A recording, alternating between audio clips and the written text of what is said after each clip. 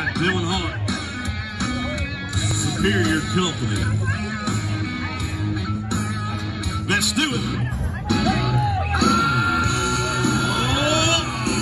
Oh,